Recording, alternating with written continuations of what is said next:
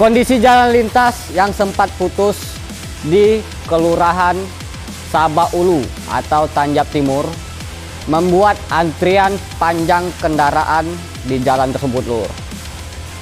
Ini karena jalan yang rusak parah nih, membuat antrian panjang. Tuh tengok nih pantauannya di pantauan Bang Jack. Hujan yang mengguyur Kabupaten Tanjung Jabung Timur beberapa pekan terakhir membuat akses jalan di Kelurahan Sabak Ulu, Kecamatan Muara Sapa, Kabupaten Tanjung Jabung Timur kembali mengalami kerusakan yang cukup parah.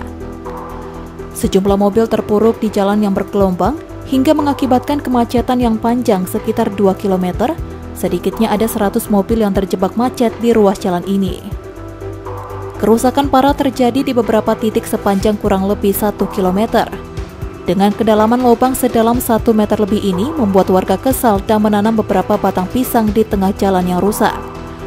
Akibat kerusakan jalan ini, ekonomi warga pun menjadi terhambat karena jalan yang rusak hingga mengakibatkan kemacetan yang cukup panjang. Menurut para sopir, mereka terjebak macet di jalan ini sudah dua hari. Dari ini dari apa? Dari jam 8 malam sini nih. Sudah dari jam 8 malam? Iya, aku parkir di situ malam tadi. Di di apa di cor-coran lewat BRI itu. Tidak ada pergerakan yang baik. Bergerak macam ini lah, main tarik-tarik lah. Tarik dua, udah telap satu, tarik dua. Hmm. Iyalah, jelas terlambat lah. Kalau buahnya kan tidak bisa lama-lama juga. Kalau dua hari, dua hari busuk besok dia.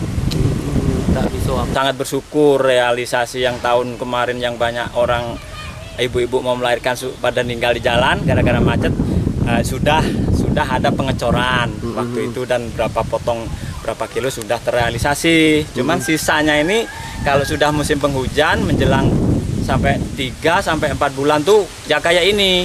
Mm -hmm. Jadi sangat terhambat untuk mengeluarkan hasil bumi. Rakyat sini ini sangat menderita gitu. Jadi mm -hmm.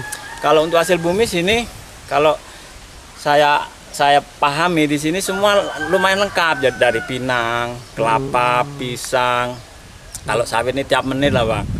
Belum yang ikannya dia akses cuma satu ini. Hmm. Kalau sampai sampai putus kayak ini kan negara sebenarnya rugi, hmm. bukan rakyat aja. Hmm. Putaran ekonomi jadi sangat terhambat. Barang rusak, mobil pun banyak rusak. Kalau belanja sekarang alat-alat tuh bukan naik harga, pindah harga. Warga berharap pemerintah segera mencarikan solusi dengan melakukan perbaikan jalan secepatnya. Hal ini agar tidak menghambat masyarakat untuk mengeluarkan hasil perkebunan dan kebutuhan bahan pokok lainnya. Wahyu Mubarok, Cek TV, melaporkan.